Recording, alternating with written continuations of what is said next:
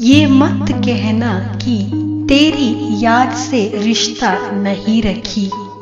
ये मत कहना कि तेरी याद से रिश्ता नहीं रखी। मैं खुद तन्हा रही, मगर दिल को तन्हा नहीं रखी। तुम्हारी चाहतों के फूल तो महफूज रखे हैं।